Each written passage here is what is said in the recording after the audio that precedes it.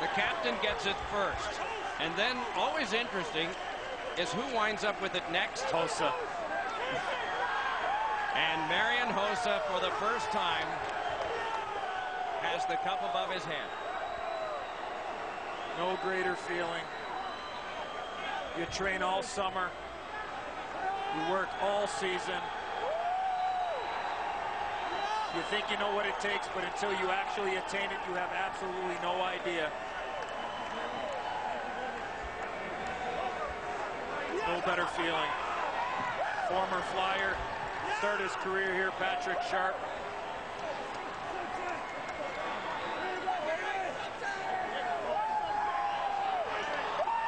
Now they start with the age, don't they? they go to the older guys like Brent Sopel. Sopel, 33 years of age. John Madden, for the third time, raises the Stanley Cup at age 37.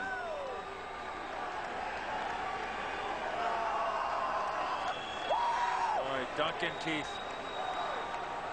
For a couple days, Doc, he was known as Duncan Teeth. 17th sacrificed. We will learn tomorrow of injuries to players in both teams. And it was John Madden who once said after a championship year, it was until July 15th that he got out of bed and didn't hurt somewhere. Well, that defensive pair, Duncan Keith to Brent Seabrook, passing pucks going against other teams' top offensive guys. Very fitting to have Keith pass the Stanley Cup to his partner. And how about the job Nick Boynton did? Veteran picked up from the Anaheim Ducks. Coming in late in this series, the last three games.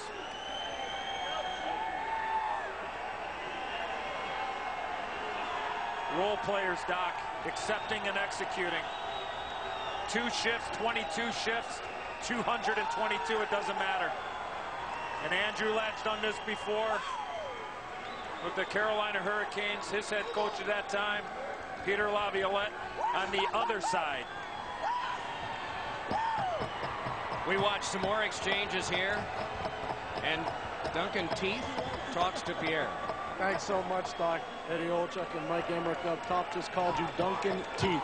You gave your teeth to win the Stanley Cup. Well, I don't know. I, uh, I obviously missing a lot of teeth, but uh, I just think everybody on our team sacrificed and, uh, you know, really a huge team effort, uh, especially tonight to make the win. This is such a tough building to play in. When it was 2-2, how'd you guys start to get the momentum going?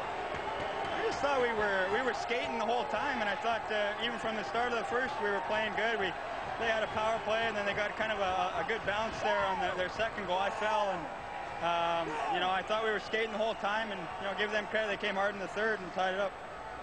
You're a kid from British Columbia. There are a lot of mountains there. You're on top of the mountain right now. What's the view like? Uh, it feels pretty good. I don't even know how to explain it. Uh, no, it uh, gives me chills thinking about it, seeing our fans up there. You're what's great about the National Hockey League, Duncan Keith. Thanks so much for doing this and keep going. Your career is going to be splendid. All right, thanks, Barry. I appreciate it. Doc, back to you. Beginning in 1995 with the New Jersey Devils win over Detroit, players were accorded at least one day with the cup. So you saw Nicholas Hjalmarsson, it will go to Sweden or wherever he likes it to go. It will probably go somewhere near Coaldale, Alberta, where Ron Versteeg is the manager of the John Deere plant there. And the guy who scored the winning goal that was not seen right away, Patrick Kane, is with Pierre. Are you the only person in this building that thought that puck went in? I knew it went in right away. I was stuck behind the, uh, the mesh in the net there. Um, got a shout out to my people back in Buffalo, my hometown. I got four buddies down. Uh, they drove all the way to come watch me play. My five family members, uh, three sisters, three beautiful sisters, my mom and dad. Uh, what a feeling. I can't believe it. It's unbelievable. We just won the Stanley Cup. The rebirth of the Chicago Blackhawks started with you and Jonathan Toews. Did you think you'd get to the top of the mountain this quickly? I can't believe this just happened. Holy crap. I mean, it's something you dream of as a kid to score the winning goal in the Stanley Cup Finals.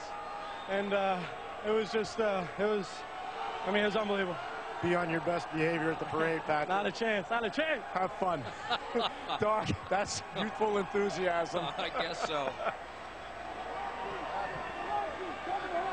more exchanges taking place, and everyone gets their chance at it. A picture will be belonging to everyone who is holding that cup over his head. Mike Gapski, longtime medical trainer, holding up that cup. And Rocky Wirtz, the chairman of the Chicago Blackhawks, team president John McDonough, head of business ops Jay Blunk down there as well. The theme of Rocky is playing back in Chicago right now, Doc. It is indeed. Marian Hossa, Pierre. The wait's over. How heavy did the cup feel? I thought uh, it was pretty heavy, actually. You know, I felt it in my shoulder, but uh, what a relief! Uh, I'm so I'm so happy we finally did it. Were you concerned at all after they tied the game late in the third period that this wasn't going to end the way you wanted it to tonight? Well, uh, that was uh, th that was disappointing moment, but we knew there was 3-3, still lots of hockey left, and we couldn't we couldn't uh, just uh, put our heads down. We have to work, and we knew you know we can do it. What's going on in Trenčín in Slovakia right now? Well, I'm sure you know everybody's celebrating right now, and uh, it's gonna be a huge party back home. Did you make the right decision coming to Chicago? Uh, definitely. Marian, congratulations. This has been an unbelievably difficult wait, and you deserve it. Way to go. Thank you, Per. Appreciate it. Doc? You saw Joel Quenneville raise the cup a moment ago. First time ever as a head coach was an assistant with Colorado. You see Scotty Bowman out there. Rocky Wirtz in the Sporting News, May 11th of 2009, said, My favorite moment as owner has not yet come. It will come when the players and fans are celebrating up and down Michigan Avenue with the Stanley Cup at the Blackhawks Championship Parade, hopefully soon. That was 13 months ago. It is soon. Joel Quenneville is with Pierre. You do this as an assistant. You've never done it as a head. Any difference? Uh, it's in a great feeling. I mean, once you do it once, you can't wait to do it again. Very comparable, but this series was very competitive. My hat's off to Philly. Were they competitive? Giving up a late goal, I commend the guys. They were great going into overtime. But hey, you can't get it, describe the feeling. It's as good as it'll ever get. The Patrick Kane goal. When did you know it was in? I heard the sound. It was a funny sound, right? And then I didn't know. Nobody knew where the puck was. Kaner thought it was in. You know, video guy, Brad, come out. He knew he was in the, in the net. And I think the guys knew that's why they celebrated. But uh, I didn't know for sure. When I saw the, the net lifted in. I saw the puck at the back, I says, okay, party's on. What did you say to the team to calm them down after the late goal in regulation to tie it up? Well, you know what? The Philly keeps coming, you know, and the building was loud, you know, late in the game there in the third. Try to settle down, timeout. But these guys, you don't have to say too much. The leadership in the room, their competitiveness, always A1, and their focus was in the right place. And uh, overtime was pretty hectic as well. What was the swing moment of this series for you as a coaching staff? Well, I thought losing game three here in overtime got her attention. And uh, game four, we gave up some uncharacteristic goals. The guys battled back. I thought the last two games were two best games of the whole playoffs. People wondered about your goaltending going into the season. Is there any question now about Antti Niemi? No, he's the real deal. What a big save there in Carter in the dying minutes of the third period. So, I mean, he played so many big games for us. Won a game, big game, too, in, in uh, Chicago for us. What street's the parade going down in Chicago? Oh, the party's going to be unbelievable.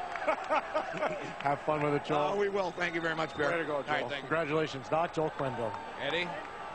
Some happy humans there, and there's hundreds of thousands of Blackhawk fans back in Chicago that are smiling. And Dustin Byfuglien, yeah, he could probably fly home with that flag.